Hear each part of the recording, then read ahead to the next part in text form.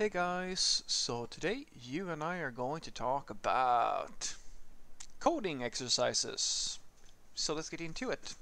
So the question in question was a little bit of a story, but it goes, Fredrik, I have a question. I study computer science and I have seen the seen that passing exams are only about doing some stupid and boring coding exercises. And I watched many videos about programming job interviews and they also rely on those stupid and boring coding exercises. If I would make a game or website myself, I wouldn't even need that knowledge and even and never use those techniques. I thought programming was about creating something. Is this really what you are doing at a job? Some boring code tasks like for example making some loop or bubble sorting an array uh, and or and arranging arrays. I thought I would be free to make my own things to create something. Did I get everything wrong? Well, I can very happily say that no, you didn't get anything get get anything wrong. But I think that I need to give you some understanding of the limitations of software engineering. So. First and foremost, let's get the obvious stuff out of the way. The reason why you are learning about bubble sorting, the reason why you, the computer science classes that you are taking is practically all about algorithms and data structures and all that stuff is because these are the fundamental building blocks that you use as a software developer.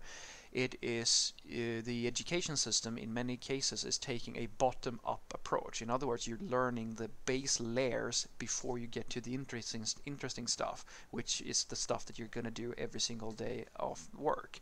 That is not necessarily the best way to keep uh, students inspired, but it is the common strategy.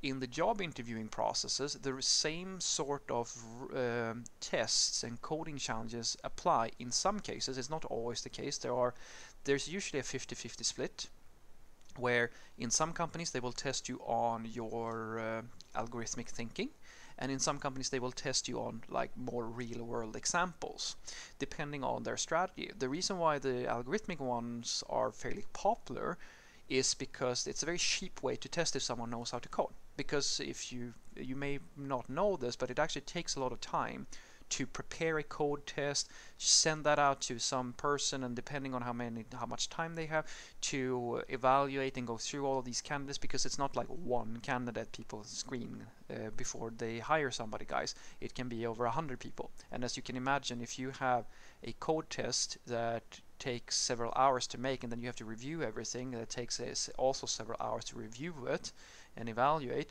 and you have a hundred people it's going to take a long time. But if you just have a very silly little bubble sorting algorithm you can send that out uh, immediately and get a reply back. There are mm, it's not always a good strategy but it is a very popular strategy.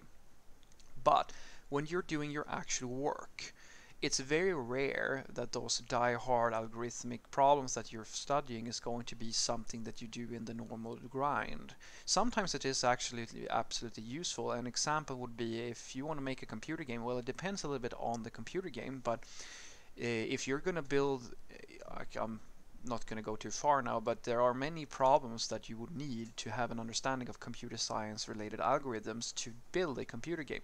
One of my favorite algorithmic problems, which uh, have you, if you've ever played one of the uh, these types of stra uh, turn-based strategy games, where you're moving a character over a screen and you know those arrows that figure out the path the character is going to take, how do you think that that is being calculated? Because it's auto is magically it's actually creating this path for you. You probably have something already done in a library somewhere, but the fundamental implementation is, I think, it's I mean it's basically a graph searching algorithm. I'm not going to say it's the Dijkstra algorithm, but it's something similar to that, where you're figuring out what's the, the cheapest path to get to your destination on a screen of nodes or of a, on. Uh, uh, Eh, eh, on, eh, on, a node tree, in a node tree.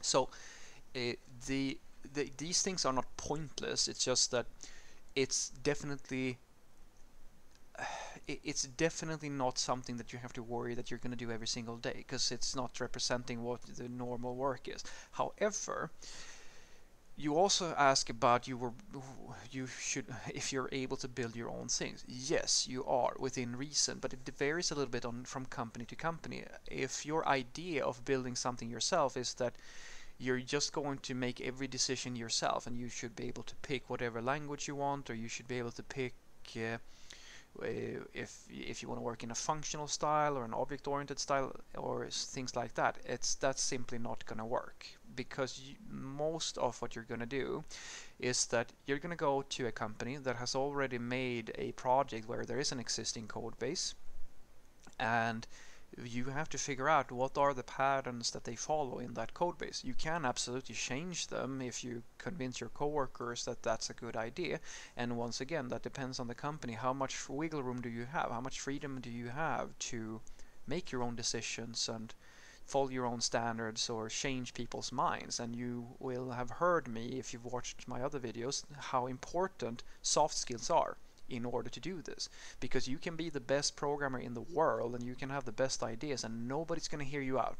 And since you're not alone on the project well depending on the company they're just going to tell you no we're not going to do that. And it doesn't matter how you feel about it. You can scream and fuss as much as you want.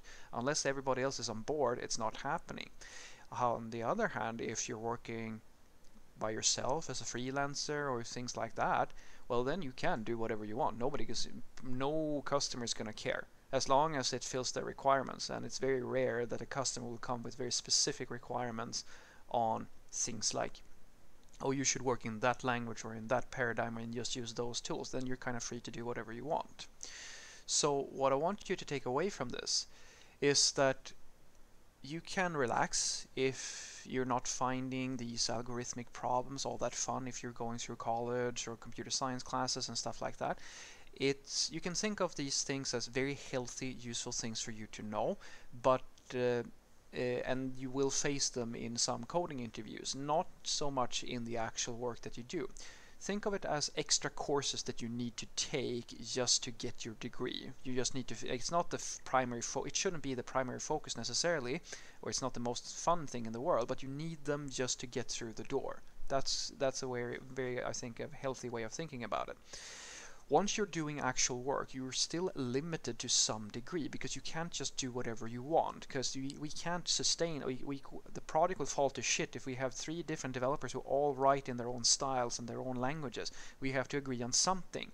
And here is where the soft skills really come into play because if you want your voice to be heard when you're trying to make technical decisions in your team, the more persuasive you can be and the better informed you are, the more likely people are to listen to you, and then you will get to be able to do what you want. Otherwise, you're going to have to just adjust to doing things the way that is being already done at the product that you are working at. Have a great day.